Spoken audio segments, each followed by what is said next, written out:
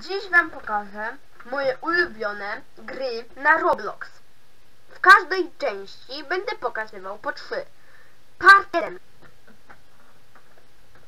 Pierwsza moja ulubiona gra na lo- Roblox to będzie Snow Resort.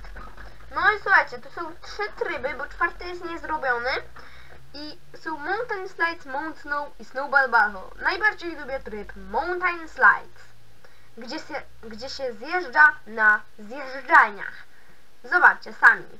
Bierzemy sobie ponton i zjeżdżamy na przykład na jakiejś danej zjeżdżalni. Lecimy do kolejnej gry. Moja druga ulubiona gra na Roblox to będzie gra pod tytułem Slap Battles.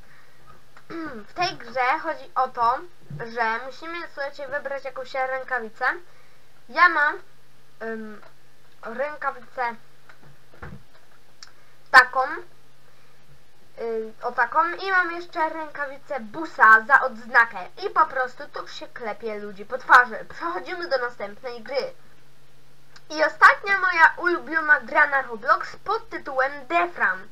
Tu się słuchajcie, przechodzi różne parkury. Y, na przykład tak, żeby iść a my do końca. To było na tyle. Jeśli wam się spodobało, daj tu lajka, suba i dodaj mnie na Roblox. Mój nick macie w opisie. Pa pa!